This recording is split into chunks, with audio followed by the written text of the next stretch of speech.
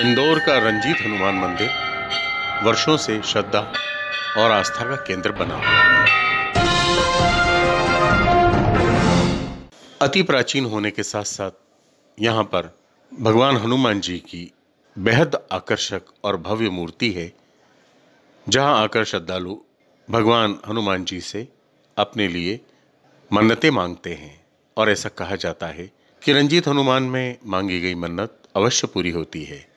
यही वजह है कि यहाँ आने वाले दर्शनार्थियों की संख्या लगातार बढ़ती ही चली जा रही है।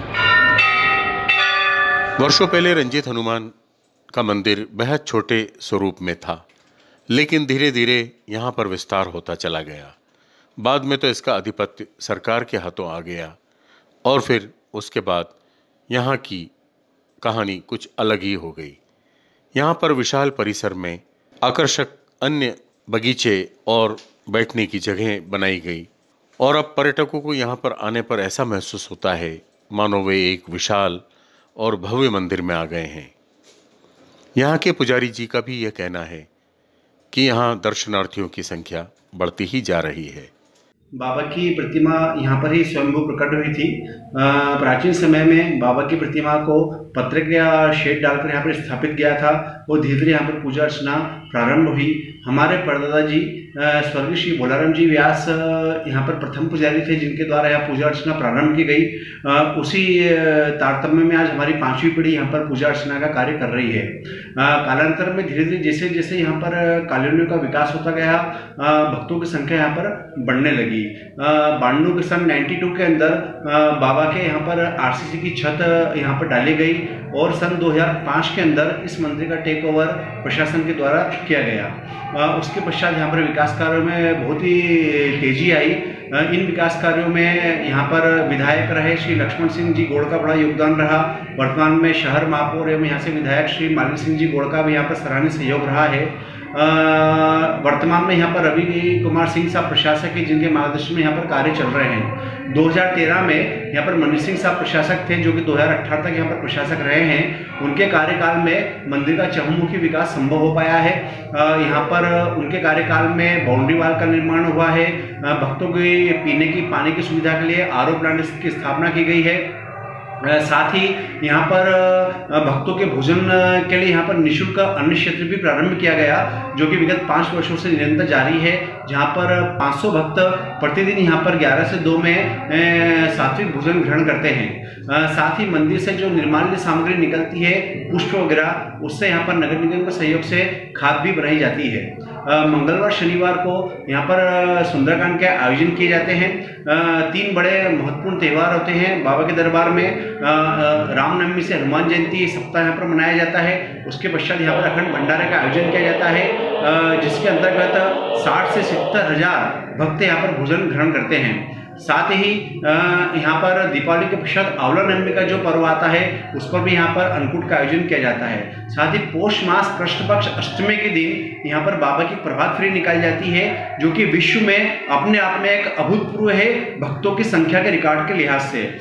विगत वर्ष जो निकाली गई थी, उसके अंदर दो से ढाई लाख भक्त यहाँ पर कड़कड़ाती ठंड में सुबह साढ़े छः डिग्री टेम्परेचर पर बाबा के दरबार में उपस्थित थे। यह बाबा की महिमा है, यहाँ पर जो भी आता है, उसकी सभी मनोकामना बाबा रंजीत पूर्ण करते हैं। शनिवार के दिन रंजीत हनुमान में बेहद आकर्षक आरती होती है जिसमें हज़ारों की संख्या में लोग शामिल होते हैं। और ऐसा कहा जाता है कि लगातार पाँच शनिवार तक यहाँ पर आरती में शामिल होने वाले श्रद्धालु की मन्नत अवश्य पूरी होती है। करीबन आप बीस वर्षों से पच्चीस वर्षों से आते हैं। और अभी रेगुलर तो अभी रोज ही आते हैं। फ़िलहाल तो आज की तारीख में। अभी यार कम से कम चार छः पंद्रह सालों से यहाँ रोज ही आ रहे हैं।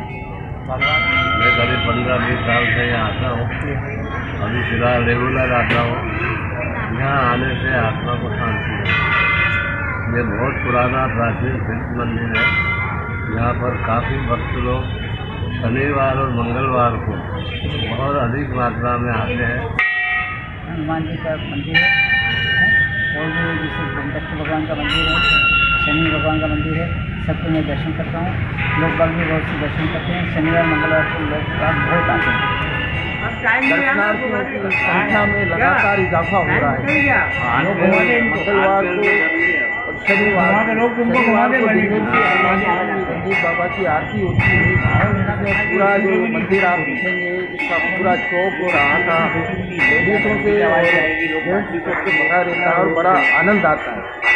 आस्था की बात लोगों के काम होते हैं तो श्रद्धा बढ़ रही है। जिस तरीके से खजराना गणेश खजराना मंदिर का महत्व है, उसी तरह से जिस बाबा का भी अभी पिछले आठ दस वर्षों काफ़ी महत्व बढ़ गया है। लोगों की मनोकामना होती है लोग बात अच्छी श्रद्धा के हिसाब से मीठी रोटी खाते मिठाई का प्रसाद मनोकामना पूर्ण होने के बाद बड़ा अच्छा लगता है यहाँ पे।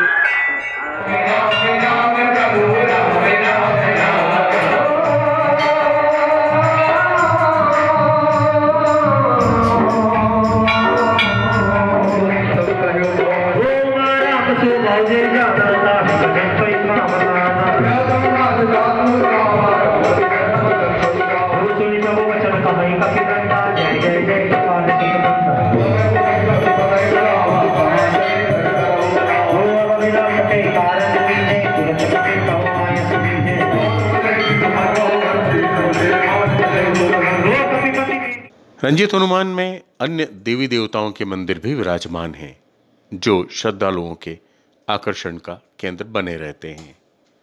रंजित हनुमान के बारे में एक कहानी यह भी है कि यह मंदिर होलकर कालीन है। वर्षों पहले यह मंदिर छोटे स्वरूप में था, लेकिन बाद में धीरे धीरे इसमें विस्तार होता चला गया।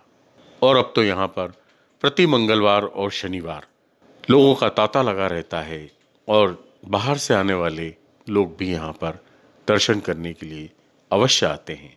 Subscribe our channel and press the bell icon for more updates